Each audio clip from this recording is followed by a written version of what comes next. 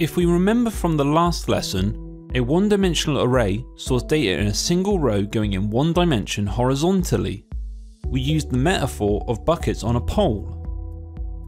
However, sometimes we need to store information in a grid format, where information is stored in rows and columns. Have you ever played the board games Chess, Draughts or Battleships? For example, you can see here a typical chessboard with all the pieces set up for the start of a game. The pieces are located in rows and columns. This is a two-dimensional array. It is basically a grid with each square having its own coordinates. Each square needs two numbers on it to identify its row and column location. In array terms, a two-dimensional array can be thought of as a collection of one-dimensional arrays, except instead of having one index number for the row location, it has two index numbers for the location of rows and columns. Going back to our idea of buckets on a pole, a 2D array of 5 columns and 2 rows might look like this. Each bucket has two numbers on it now, showing its location in a row and column.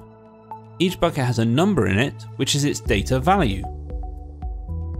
Two-dimensional arrays are created in a manner very similar to creating one-dimensional arrays.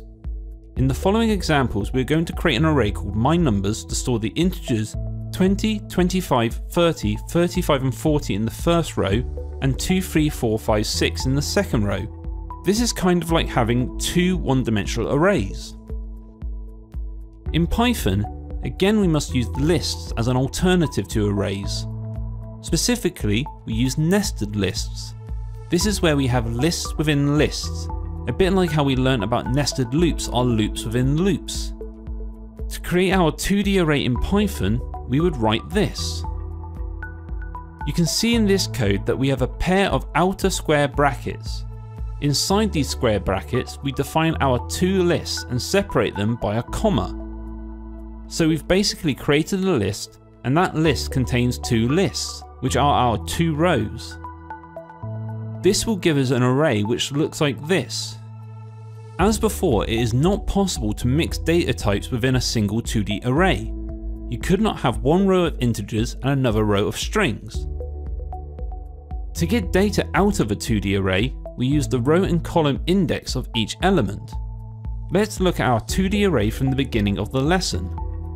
So looking at this, element 1, 2 contains the number 4. If we wanted to print this out in Python, we could say this. Looping through a 2D array requires the use of a nested for loop. The outer loop deals with the rows, the inner loop deals with the columns. So, 2D arrays are used when you want to store table-based data in rows and columns.